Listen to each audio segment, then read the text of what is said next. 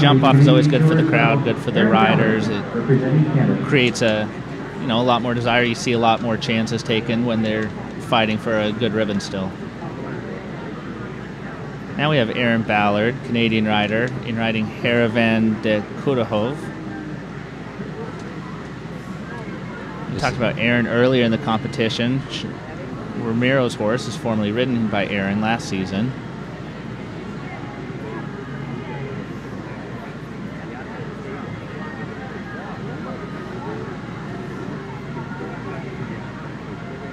Where we were talking earlier too, Frank, you mentioned how there's top jumper and hunter riders. We didn't talk about the combination. You know, Erynn rides both divisions and very successful on everything.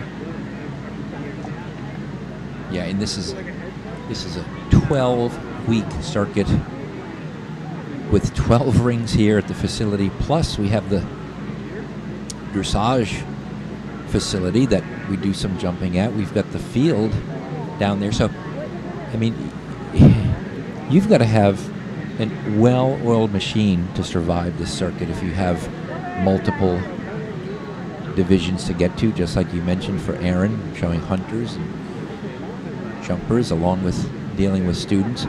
And you have just the sheer logistics.